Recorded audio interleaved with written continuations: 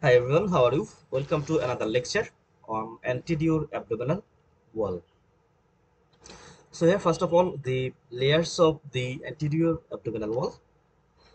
The most outer layer is the skin, then superficial fascia, then three important muscles external oblique muscle internal oblique muscle and transversus abdominis muscle. So after skin and superficial fascia there are three important muscles there but in case of abdomen there is no deep fascia. Then here we can see fascia transversalis extraperitoneal tissue or extraperitoneal connective tissue and parietal peritoneum. So these eight layers of the anterior abdominal wall. So anterior abdominal wall it has total eight layers uh, here in this picture this picture is enough and it is showing all the layers of anterior abdominal wall total eight layers of the anterior abdominal wall. So among the first of all here this is the skin and after the skin this is the superficial fascia uh, which is also divided into two parts. One of the superficial fatty layer which is the fascia Camper's and another one is the membranous layer which is the Scarpa fascia so first of all skin and superficial fascia but there is no deep fascia. And there then three important muscles. One is the external oblique muscle this is the external oblique muscle then inner to the external oblique there is the internal oblique muscle. And in the inner side of the internal oblique there is the another muscle which is the transversus abdominis. And then here we can see the fascia transversalis. That means is the fascia of the transversus abdominis muscle. And after that extraperitoneal tissue and parietal peritoneum. So these are the layers of the anterior abdominal wall. So it is easy. First of all skin and superficial fascia then three important group of the muscle and then three important structure. So here in this picture we can see the external oblique muscle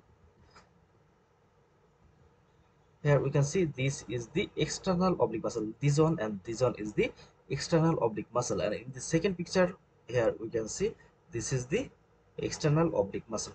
And this external oblique muscle it has the muscular component uh, component which is formed by the muscle. And aponeurotic portion here we can see this is the aponeurotic portion. And it is formed the rectus sheath with other two muscle which is the internal oblique and transversus abdominis muscle. And there here we can see the internal oblique muscle. This muscle is the internal oblique. Here we can see this is the internal oblique muscle. So just inside the external oblique muscle here this is the in external oblique muscle. So inside the external oblique muscle there is the internal oblique muscle. And this muscle it lies just fibers are transverse so it is transverse transversus abdominis muscle.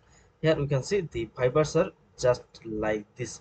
So this is called the transversus abdominis muscle.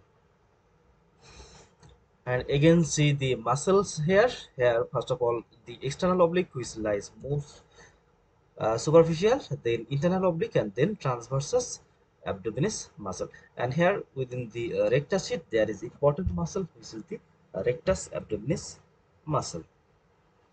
So again uh, the quick recap the layers of the abdominal wall and uh, after that we will discuss about the clinical significance of the anterior abdominal wall.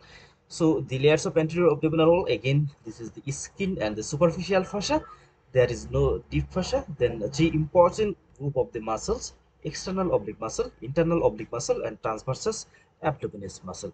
Then fascia transversalis, which is the fascia of the transversus abdominis muscle. Then extraperitoneal connective tissue and parietal peritoneum. Now, clinical importance of the anterior abdominal wall. Here we can see during abdominal surgery, it is usually necessary to divide to enter into abdominal wall for purpose of different abdominal surgery and uh, this uh, division may be through the muscle or through the aponeurosis. So this point is important that we can enter into the abdomen through the muscle or through the aponeurosis. During midline laparotomy it is divided to the aponeurosis. During the midline incision we have to divide the aponeurosis but when the other side then the midline we have to divide or we have to separate the muscles group of the anterior abdominal wall so during entering into the abdomen during laparotomy we have to divide either the aponeurosis or the muscles of the anterior abdominal wall. This is all about the layers of the anterior abdominal wall. Thank you all